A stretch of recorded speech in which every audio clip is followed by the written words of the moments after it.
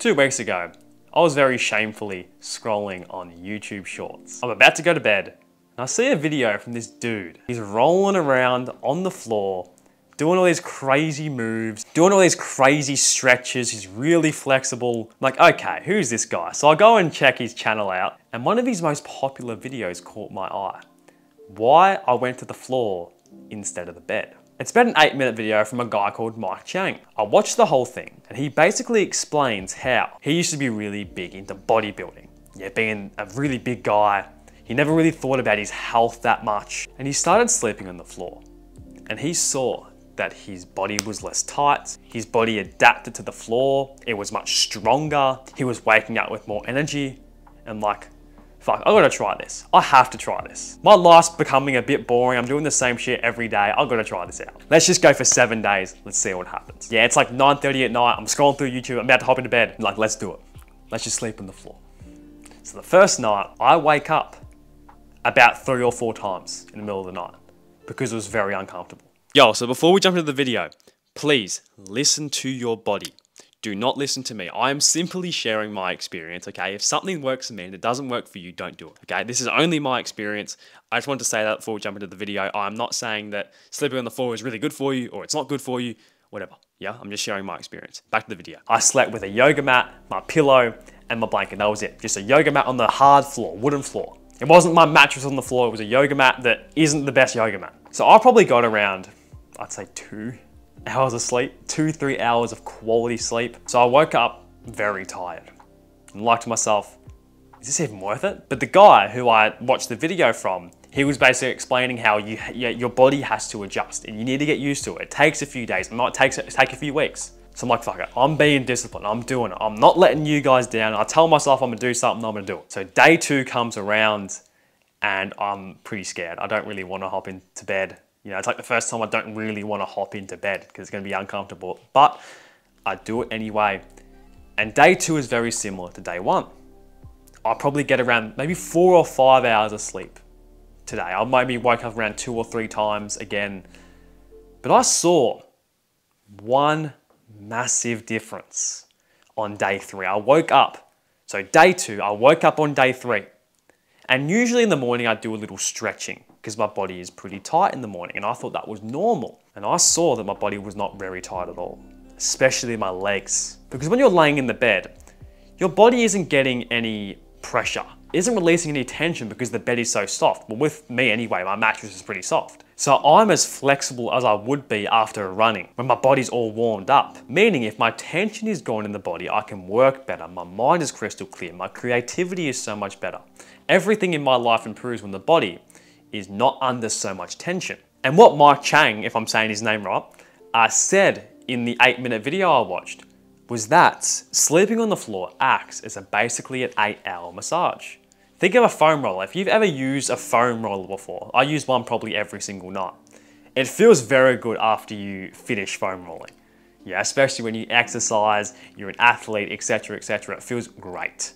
Imagine doing that for eight hours, especially the quads when you lay on your side. You are going to feel like a whole new person. And that's what I felt, even though I got like four or five hours of sleep on day three. I was still tired, but my body, because it was less tight, was able to give me that energy that I needed. So I'm really excited. I can't wait. Imagine when I'm getting eight hours of quality sleep every single night with this newly found relaxation that I'll usually get from stretching. So day four, I had my first full sleep. Seven or eight hours, I can't exactly remember. It was amazing. Woke up, day five, feeling great. Pretty much the same as day four or three. I can't even remember. The last day I said, but I was less tired. Usually I complete all my work for the day, like, you know, editing videos, working out, reading, if, I, if you want to call that work. All the tasks I have set that I will do every single day, regardless of how I feel two hours earlier than I would have normally. Usually I finish around five or six o'clock. Today I finished at 3.30. I had an extra an hour and a half just because I could work for longer. I didn't need to have as many breaks. So I spent another hour reading. So I spent two hours reading every single day. I spent that time replying to comments on my YouTube videos. Just this extra bit of time would go so far. Now, this is where things get very interesting. I had this open mind. It's like, this is amazing. I've just found a whole new me with sleeping on the floor. But day five or going to day six comes around and I had a pretty busy day that day. Yeah, I had some family stuff to go to. I had to go to a birthday. So I was working basically all day other than the birthday. I got all my work done at like 10 p.m. work, if you want to call it that, even though I love it. So I was probably only going to go on about seven hours of sleep. But I ended up waking up because I was so tense in the body, right? Because I hadn't relaxed. I usually do my night routine where I relax. I hadn't done that tonight. So I hop into bed real tight and I end up waking up in the middle of the night. And I just can't get back to sleep. No matter what I do, I just can't get back to sleep. That comfort isn't there. So I hop back into bed. I hop in my bed because I'm like, I can't get to sleep. and the guilt of just knowing that I told myself I'd sleep on the floor for seven days it just it just had rose in my mind. So within five minutes, I was back on the floor again, and it probably took me about 20 minutes to get back to sleep.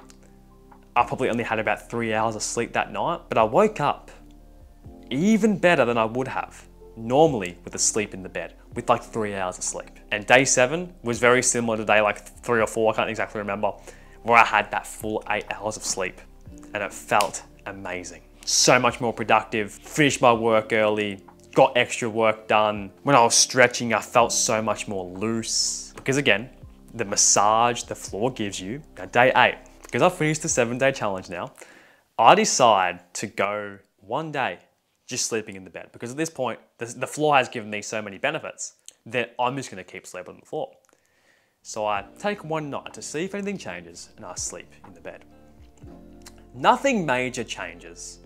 It's a more comfortable sleep, but I wake up tight again. I don't wake up as good as I'm feeling because my body hasn't been released of tension from the hard floor. I wake up and my hamstrings are tight, my quads are tight.